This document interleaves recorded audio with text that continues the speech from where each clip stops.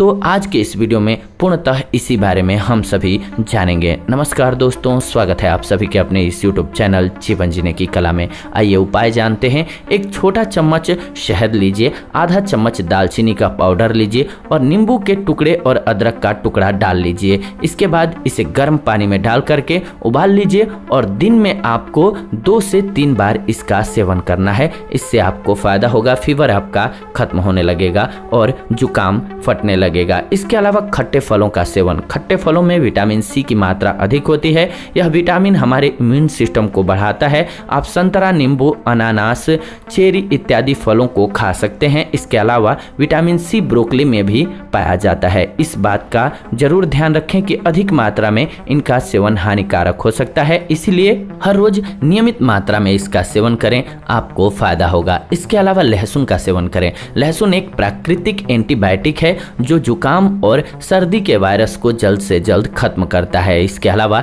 यह खून को साफ़ करने में भी महत्वपूर्ण भूमिका निभाता है। इसका प्रयोग आप खाने में डाल करके कर सकते हैं। इसके अलावा, आप इसे कच्चा भी खा सकते हैं। इसको सरसों के तेल में पका करके खाएँगे तो स्वादिष्ट भी हो जाता है और ये छाती और गले पर लगाने से आपको लाभ भी देता है। अगर कफ की समस्या है तो पक करके बाहर आ जाता है। इससे जुकाम बहुत जल्दी खत्म हो जाता है, दूर हो जाता है। इसके अलावा, नीलगिरी तेल का इस्तेमाल कर सकते हैं। सभी जानते हैं कि नीलगिरी के तेल का प्रयोग एंटीसेप्टिक के लिए किया जाता है। बहुत से लोग इस बात को नहीं जानते हैं कि इसका प्रयोग सर्दी जुकाम को ठीक करने में भी किया जाता है। इसका प्रयोग करना बहुत आसान है। सर्दी जुकाम होने पर आप नीलगिरी के तेल की एक या दो बूंद पानी में डाल दीजिए और पानी को उबाल लीजिए।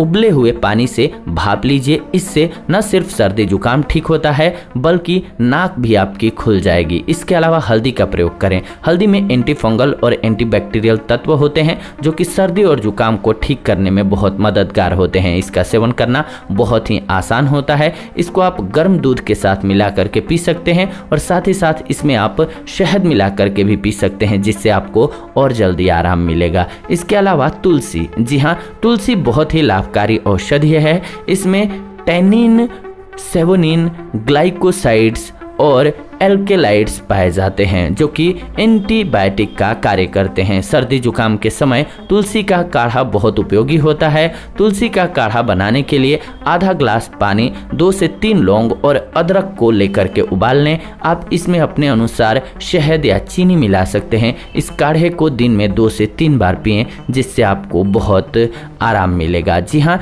ये कुछ एक ऐसे तरीके होते हैं जिससे आप सर्दी जुकाम से राहत पी सकते हैं। अगर आपको किसी भी प्रकार का फीवर हो जाता है तो उसमें आप गिलोय के रस का सेवन कर लें या फिर चिरायता का सेवन करें फीवर उतर जाएगा। तो ये आज की वीडियो रही आप सभी के लिए, जो कि फीवर को कंट्रोल करने से रिलेटेड रही। ऐसी ही नॉलेजफुल वीडियो के लिए चैनल को सब्सक्राइब करके हमारे साथ जुड़ जाएँ और बेल नोटिफिकेशन को ऑन कर लें, ताकि नई वीडियो आपको सबसे पहले मिले। लाइक कीजिए वीडियो पसंद आया तो शेयर कीजिए उन लोगों के साथ जिनको इसकी ज़रूरत है, और कमेंट कीजिए आपके मन में कोई सेहत संबंधी सवाल है तो हम आने वाले दिनों में उन टॉपिक्स पर आप सभी के लिए वीडियोज़ ज़रूर बनाएँगे। फ़िलहाल, आज के इस वीडियो में इतना ही। विदा लेते हैं इस एपिसोड से, जुड़ेंगे नए एपिसोड में। नई जानकारी के साथ तब तक आप सभी खुश रहें, स्वस्थ रहें। ये वीडियो आप सभी देख रहे थे आयुर्वेदिक उपचार चैनल के माध्यम से। ऐसी ही नई वीडियोज़ आप सभी को मिलती रहेंगी। हमारे साथ बने रहें। धन्यवाद। नमस्कार दोस्तों।